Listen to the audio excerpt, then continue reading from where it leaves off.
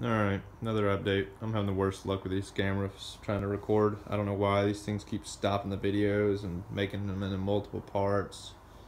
Try to make this quick so I won't cut it off. So, Rod and Custom front cross members clamped in place. Front frame rails are clamped in place using these bolt holes to kind of line it up. Tek screwed to the firewall. All my angles are right. I had mentioned where I contemplated doing, learning, practicing up on my TIG and TIG welding this, but I think I'm just gonna say screw it and MIG it. No way I'm gonna compete with this gorgeous stack of dimes.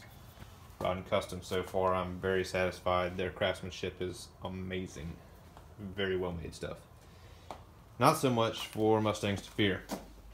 Or their inner fender aprons and their jack pad the jack pad is MIG welded. All everything's ground down except for the tie downs back there and like the interior grooves in here. And they are not the best MIG welds. They're, I mean, it's rough, splattery. Just looks not so great. I mean, surface rusted like crazy. Normally, I, if they're not gonna make them to order and they're storing them, you'd think they'd either coat them with something, oil or some kind of anti-rust paint, prime, or whatever. But regardless, their packaging also was crappy. They just had this paper stuff wrapped around. I don't even think this was wrapped up. It was just kind of the paper was in there, and then this these were just kind of set against the side. So that tie down over there ate into this lip, which I already re-flanged and fixed. What? I just kind of bent it back into place, didn't re-flange it yet, but I'll clean it up a little bit more whenever it gets time to use it. And then one of the corner pieces I want on this jacket too. But for what these things cost, you'd think they'd be made a little better.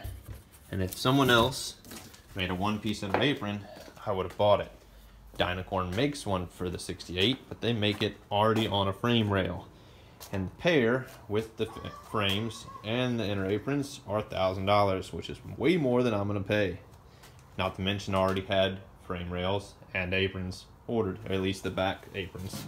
Already had them here. So, on the predicaments that I found. This side torque box fits beautifully. The frame rail is Tek screwed in place. Perfect here. Tek screwed down here and underneath. This side, which I can show you on the other one since the torque box is not in the way on the other side. The flange to firewall on the outer frame rail is like a half inch off at the top on here. The angles are wrong. They're like 41 or 42 degrees, so I'll have to reflange it. This torque box fit beautifully. This top piece fits beautifully. There will be no issue on this side. It all fits up great. This side, however, is way off. Hopefully somebody can give me a measurement from their floor support to rocker lip because mine is roughly 11 inches. These are annoying. All right, stupid camera keeps stopping recording at like four and a half minutes. So, this side is 11 and a quarter maybe. It's hard to tell on the camera. About 11 inches. This side, up front, well, that lips at 11, but the inner's kind of banged up a little bit less. And then this front is like 10 and a half at the top. So apparently my rocker's twisted some, I'm guessing. And about 10 and 7 eighths at the bottom on the outer lip, which this can, that rocker can adjust. So anyways, problem, this to that flange is 11 and a quarter.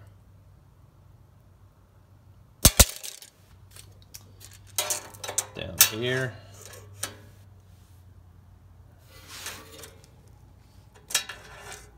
About the same, about 11 and a quarter. That sucker is not gonna fit in here. I mean, 10 and a half to 11 and a quarter is a little bit of a spread. So you see the line I drew here? That's the overlap. I fit it up to the firewall with the frame rail out. and it sticks in. I mean that this little tip here is this right here. So it sticks in way too far. I mean this thing ought to just barely overlap the flange. Because on the factory cars, I believe, all of the torque box was installed after the frame rail. It was put up over the top of it. This thing, no way in hell it's gonna fit. I mean, just this, this flange alone right here to that, that lip to this lip here is like 11 and a quarter, roughly. And there's no way in hell it's fitting.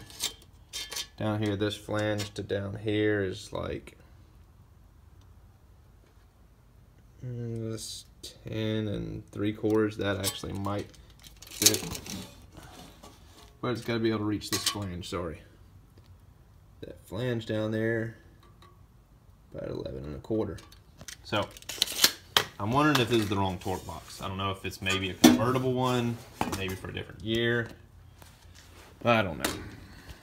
But I tried finagling it in. There's no way in hell it's fitting. I mean, you can hammer if you want. It's it's gonna have to be cut and reflanged or modified some some fabrication required. Hopefully somebody can give me their frame to rocker measurement. I'm hoping mine's not that far off. Thinking it should be about 11 inches. The other side was an 11 and a quarter spot on. You know, I can probably wedge out my rocker a little bit, but it's not going to go that crazy far out, I'm, I'm sure. I don't foresee it needing to go out that far anyways. But that's where I'm at. I'll go ahead and conclude this up. The, I might go ahead and order another torque box. That one over there was a two-piece Dynacorn. This one was a one-piece. I think I ordered from CJ maybe. Uh, I don't even know. It was ordered way long ago, and we ended up splitting the splitting it into two halves, drilling out spot welds. But next in line, I'll be figuring that out, and then I'll probably go ahead and weld this. I'm contemplating welding the sides top and then the side over here with it just kind of Tek screwed the car and then pulling it out of the car and like standing it up to weld the underside so I don't have to weld upside down because I hate doing that since it's a good bit of welding or a long bead it'll have to be. But this will be getting welded in soon. And then after that it'll be frame rails, firewall, cowl, torque boxes, all that. We're pretty much at the point of where I'm ready to start welding everything. Still have to figure out that fitment too. So, thanks for watching guys. If you have measurements, help me out. If not, I will. Uh, eventually I'll find it. Uh, I'll figure it out soon though. Thanks for watching guys. Till next time.